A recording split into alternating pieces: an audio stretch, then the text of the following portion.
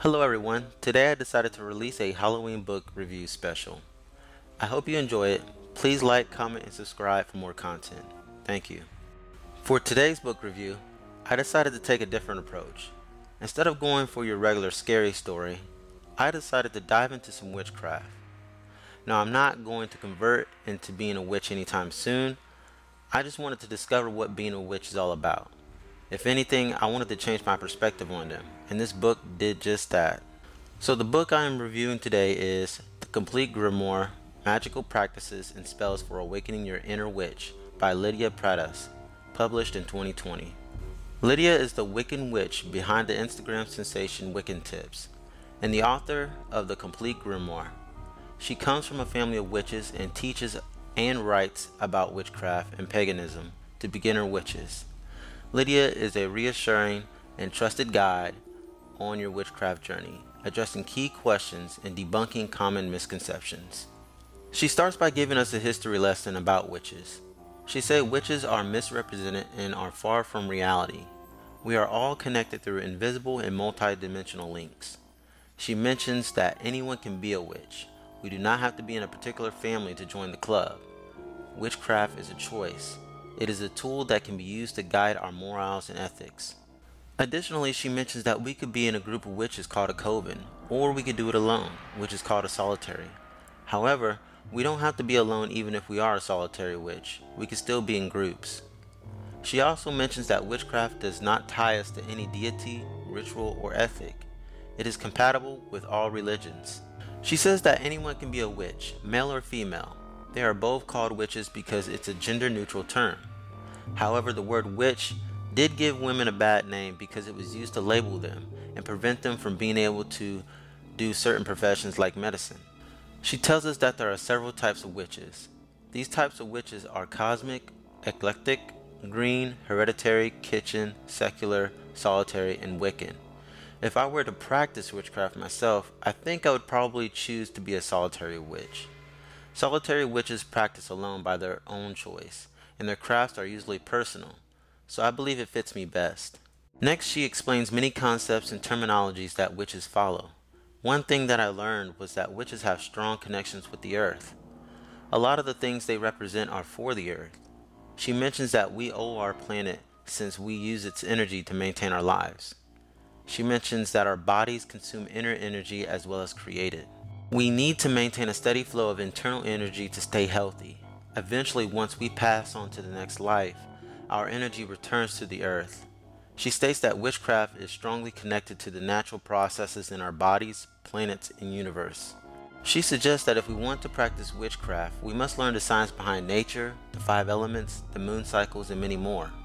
She briefly explains her chakras, breathing, meditating, grounding, and visualizations. The one that was new to me, however, was grounding, which is a form of meditation that allows living in the present. It is supposed to keep us calm and reconnect us with the earth. She mentions that witches are not out to hurt anyone. It is not their nature to do so. Witches follow the threefold law, meaning the energy we put into the universe will return to us times three. She says the first three steps to becoming a witch are reading, writing, and practicing. To write, she says that witches use a book of shadows for journaling and a grimoire for information on how to perform witchcraft. This makes sense because this book provides us with the information we need to know.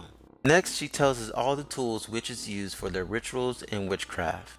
She mentions using the tools necessary for you. All of them are not required for you to begin witchcraft. I found it interesting how much effort is needed to ensure that you can cast your spells properly and remove negative energies. She states that you must cleanse first, then consecrate, and charge and imbue your tools to avoid mixing or stirring up unwanted energies. She also mentions that witches celebrate holidays as well, through the wheel of the year which is divided between four of each greater and lesser Sabbats. Greater Sabbats occur on high energy dates and harvesting stages, planting or sprouting for example. Lesser Sabbats celebrate the change of the years. To make things brief, you have an actual Sabbat, like holidays, then they fall into categories of Sabbat types, which is the greater or lesser. She explains that each Sabbat event that occurs throughout the year and leaves us a recipe made during those times. The most interesting part for me was when she spoke about crystals. I actually got an insight into the different crystals and their uses. Previously, I did not understand what they all meant when I went to the shops that had them. Now I have a new founding respect for them and those who use them for their witchcraft. Ones that stood out to me the most are amethyst, black tourmaline, citrine, clear quartz, and tiger's eye. Of those six, the tiger eye is probably the one I could see myself purchasing in the future. She states that it promotes focus, patience, and courage. This helps you make better decisions and soothe tensions after an argument. She also talks about the different shapes crystals can take and how that impacts the energy around us. I did not know that these crystals require cleansing, charging, and programming to continue to work. So that is something I should keep in mind before purchasing one. Next, she discusses the many herbs used in witchcraft. She explains that Mother Earth offers these herbs to heal our minds and spirits. If you had a herbal bath or tea before, you would be familiar with many of the herbs she mentions in this grimoire. She explains how to use the herbs properly for witchcraft, even giving us a recipe for a recovery potion. Another thing I took interest in was the eighth clair senses, which consist of sight, knowing, hearing, feeling, touching, smelling, tasting, and emotion. Out of all the eight, I believe I am clairaudience, which is clear hearing. Clairaudience is people who perceive sounds, words, or noises, as she states. She also lists traits to help you quickly identify which one you are. If you decide to purchase this book to read, let me know which clairsense you represent as. In addition to the eight clairsenses, she also explains how to use tarot cards for fortune telling, pendulums for divination and energy detection, runes for divination and writing methods, scrying for visions, and palm reading to define your personality and predict your future. She mentions that witches can connect with the spirit realm. This is when our altars will come in handy because we can communicate with the spirit realm and speak with our ancestors, paying our respects and giving offerings to keep their memories alive. Since witchcraft does not involve a particular religion, it is up to you on how you want to pursue this portion of witchcraft. Lastly, she speaks on spells that are only used for your intentions. We must remember that everything alive has vital energy that needs to be cleansed regularly. This includes the environment we live in. She also wants us to remember that spells do not always work. It takes practice to get them right. In the end, this is an informative grimoire about how to unlock your inner witch and what it takes to stick to their traditions and methods. My perspective has changed on witches, and I don't believe they're scary anymore. They are more like monks who want to clear their negative energies and be one with nature. However, I do understand how it got to the point of being associated with Halloween, simply because of the history of the word witch and how it was used. Even though I will not be using witchcraft myself, I am glad I kept an open mind to read this book. It was very insightful, and I enjoyed the history lesson and the different explanations.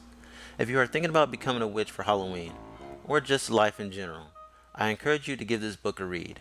If you do, let me know in the comments what did you get out of it, and what are some things you are going to be practicing or currently practicing. Thank you for tuning in to this Grimoire review. I hope to see you in the next following book review. Please like, comment, and subscribe for more content. Until next time, have a happy Halloween.